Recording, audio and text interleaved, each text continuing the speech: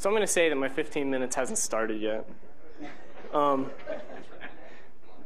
well, I, I, thanks everybody for coming. I mean, this has been great. I, this has actually been really phenomenal to see how other people are using Bro. It's it's fun to sit around and think about how I use it and how I could use it and stuff. But it's it's even better to see how other people are using it and what they're doing. Well, and, and even more than that, to, to see the connections being made between people and, and people getting excited about stuff other people are doing, like the SSH stuff that Scott presented yesterday. I've heard quite a bit of interest in that. I don't even see Scott. Hmm. Okay, all right. Um, so sorry, Keith, I'm cutting into your time. Um, I'm going to go ahead and start now, I guess. So 904. All right, there we go. So this is my 15 minute bro talk. I, have talked to a number of people already. I, I, limited myself deliberately to an extremely ridiculously small amount of time because what's easy for me is to go for six hours. What's hard for me is to go for 15 minutes. And if something, you know, it's almost like if something's not hard, why do it, right? because then we would all just be sitting at home watching TV because that's nice and easy.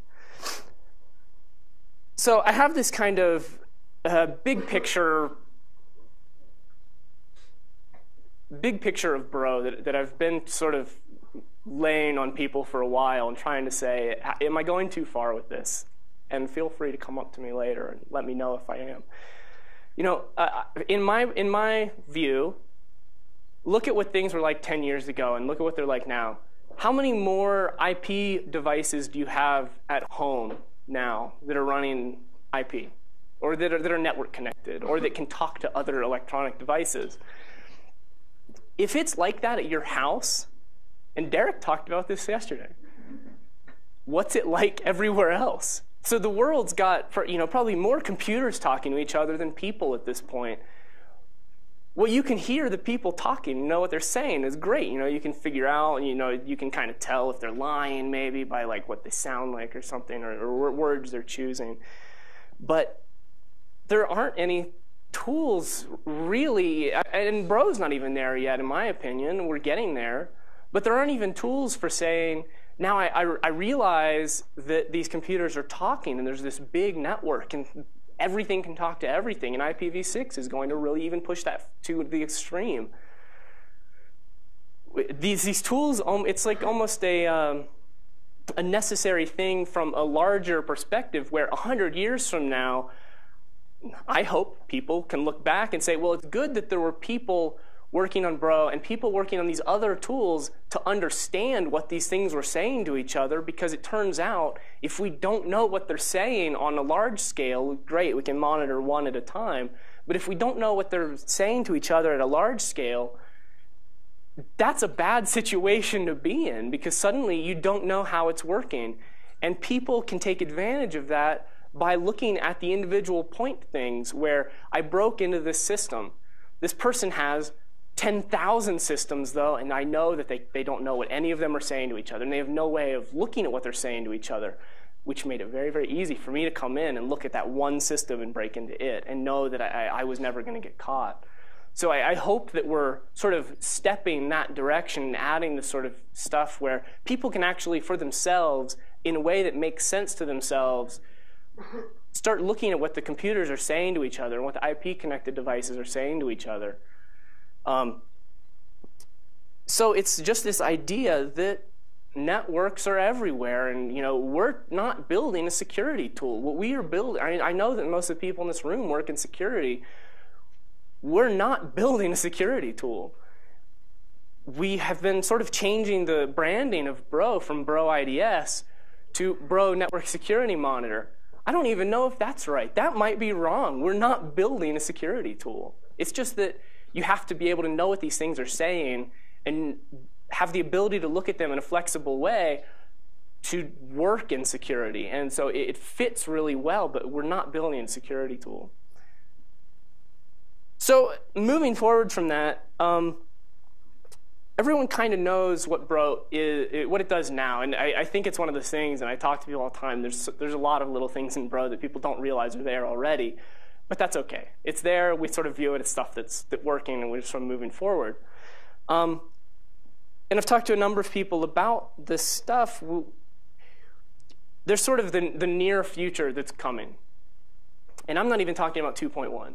2.1's got incredible features. that, Like uh, IPv6 is just there. And we had Ashish complain about IPv6. I don't even see him now, but we, oh, there he is.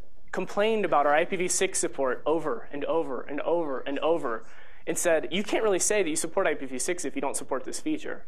You can't really say you support IPv6 if you don't support this feature. So we implemented all these features until he stopped complaining. and, but again, that was Jon Siwek basically obsessively going after all this stuff as Ashish complained about it and adding these things. And I'm sure we'll find more thing, more places that we're still not covering with IPv6. Um, but I mean, even tunnel decapsulation. But not only tunnel decapsulation, but tunnel decapsulation in a way where you're not just sort of left with these packets that are saying, you had an IPv6 packet, and you say, I didn't have IPv6. We're, we're saying, you had an IPv6 packet, here's the connection it was carried over. I, I, that's one of the things, because I come from the incident response world, I've got this big focus on making things forensically sound so that if you're going to log something, make sure when you go back to look at the logs, you can really explain your, in your head what happened. You can build that mental model and make it correct. So, I mean, that's all stuff, you know, that's basically done. I mean, 2.1 is essentially done. There's a couple of little things to do still, but it's basically done. Um, so I'm viewing near future as 2.2. Um, we have some things coming up in 2.2, like uh, the, this, this focus on, very, very intense focus on files. Uh, because, and, and, a lot of other people have this sort of focus too. I, I don't think they're doing it right the, even the people that are working on this stuff in many of the other projects, I, I think that they've taken a first step, but they're going to have a hard time taking the second, and third, and fourth, and fifth steps. Um, and, and, I've been working on this for a while, and we actually have it implemented already, but we're going to re-implement it because I don't like the way it's implemented now. Um, it's going to do some really neat stuff. I have to move along because I'm limiting myself to 15 minutes. But the idea is that you basically are, we're going to move you to the point where you specify the behavior you would like it to have. So you basically say, if you identify a Windows executable, send it to Cuckoo Box. And, and what you're saying is what you're thinking, which is, I don't care what the protocol is. If someone sends it over FTP, IRC DCC transfer, HTTP, whatever, it doesn't matter to me. Just if there's a Windows executable, do this action. And that's sort of what we're moving to, so you can really just specify what you want. The other, the other uh, big thing I think that's going to be there in 2.2 is sort of a, a, much more intense focus on intelligence and, and handling it in an intelligent way. I hope that will become more obvious in the future. We're still working on figuring out what that means. But you know, making intelligence more readily consumable and, and more usable from a day-to-day perspective. Less near future. It's further further afield, but um, it. Uh, I, I, guess what I thought of last night, it's becoming less fuzzy every day.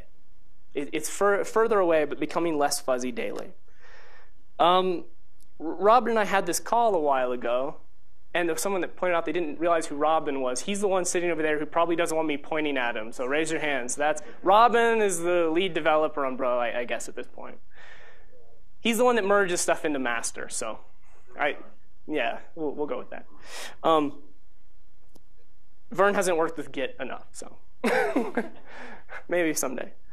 Um, so it, it really, we had this call one day, and we kind of realized that Bro needed this focus on not only event analysis but stream analysis, and it really it came from another project that Robin's working on that I really don't want to go into detail on because he hates when I do because it's prototype still. It's not even prototype; it's conceptual. it's research, that's right. Um, so anyway, but sort of splitting bro and saying event analysis isn't everything. A file is a stream. Protocol, uh, a TCP connection is two streams, you know, one for with this direction, one for that direction.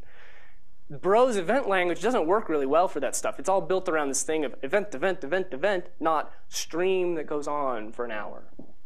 So if we, there are all these sort of things that become possible if we add this extra notion of two languages, one for streams, one for, for events. But then if the event one can sort of hook streams to analyzers for those streams, which those then generate events, you end up with this thing where there's lots of odd stuff that becomes possible that you didn't initially realize was even a possibility. And I, I, I honestly think that um, in the less near future, I'm sure we'll have lots and lots of other capabilities. So it's not like we're just going to drop everything else and do that.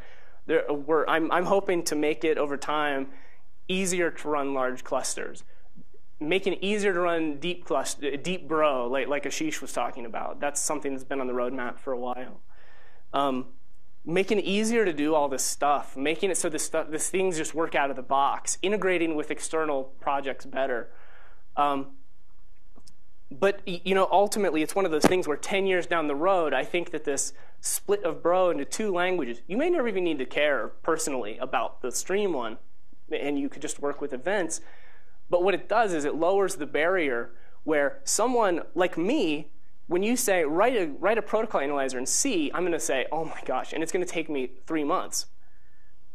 We've lowered the barrier. The, low, the barrier was lowered by a guy who was like a postdoc that wrote BinPAC uh, Oh, jeez, intern. He wrote BinPAC, which is amazing and lets you do really cool stuff. It lowered the barrier, increased the development speed.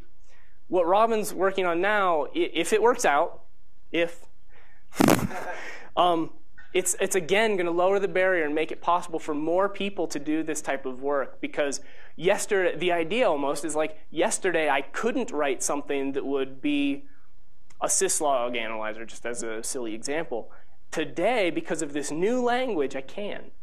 It's a really big change, but I, I, it was sort of profound for me to play with BinPAC because I would have never written a lot of the stuff I wrote in C. But I'll absolutely write it in BinPAC because it's easy and kind of fun and, and quicker.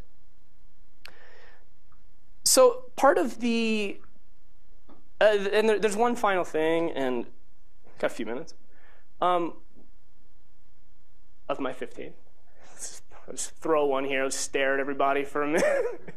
um, one of one of the components of the the grant that we received from NSF was developing a sustainable funding model. And it turns out that begging people for money is hard. And um, they don't like to just give you our, our target funding goal we had talked about was seven and a half million for five years. It turns out it's really hard to get someone to just be like, that's a great idea. I would love to see this thing that everyone gets access to for free. Here's $7.5 million. And what that would have effectively done is, is given us like a 50% increase so we could hire an extra person or two, have five years of development time.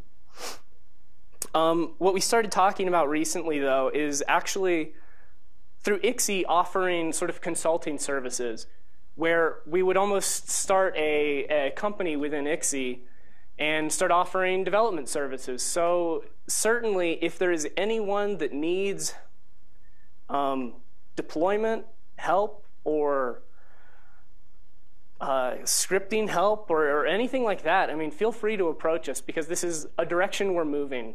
Uh, almost certainly, we're moving in. It's, it's, we're just sort of moving slowly now because there's, there's no rush and we don't have people banging down our door. But we hadn't announced it publicly.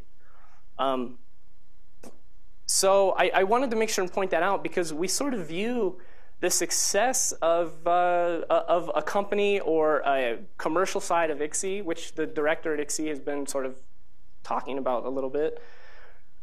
We, we view um, the success of that feeding back into the continuation of Bro as an open source project for a decade, two decades. I, I don't know. I, I, don't want to put a cap on on how long the project stays successful and expands.